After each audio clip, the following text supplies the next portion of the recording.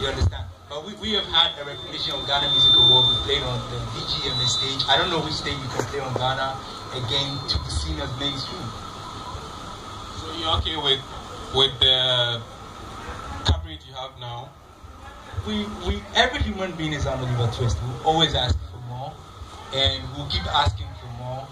And I even think the bigger artists you consider are still asking for more because when they conquer the Ghanaian stream, they're looking out for streams out in Africa.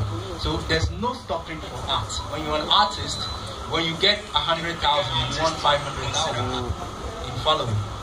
You know, and when you when you can make when you can live off what you're doing, then you're successful.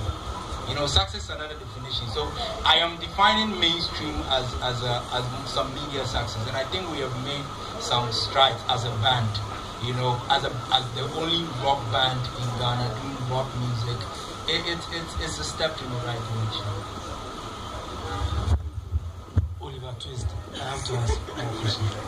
Okay, so as far as I know, you are perhaps the only rock band in Ghana. Where shall we put you when you are for the Ghana Music Awards, for example? You see, why, what, what we just did right now have exposed a certain flaw in our Ghanaian music industry. Because the truth is that when you have people in the music industry working around an industry, you cannot say I'm running a construction company and you don't have every element of it.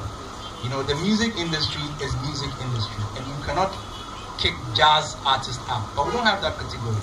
You know, even dance for years back we didn't.